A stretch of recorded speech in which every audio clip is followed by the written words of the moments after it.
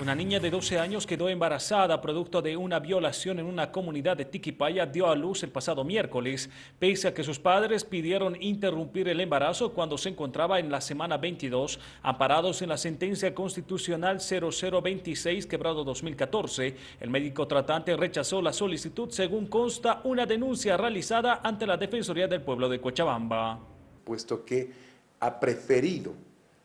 que no se haga la interrupción legal del embarazo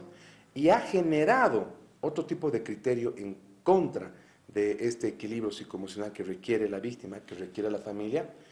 y, e insistió para que se haga un procedimiento de embarazo normal. El abuso sexual habría sido reportada por los padres de la niña a la Defensoría de la Niñez y de la Adolescencia de Tiquipaya el pasado 21 de marzo de este año, cuando la menor tenía 22 semanas de gestación. Es por esta razón que el delegado de la Defensoría del Pueblo solicitará una auditoría al Servicio Departamental de Salud a este hospital donde se había negado la interrupción legal del embarazo.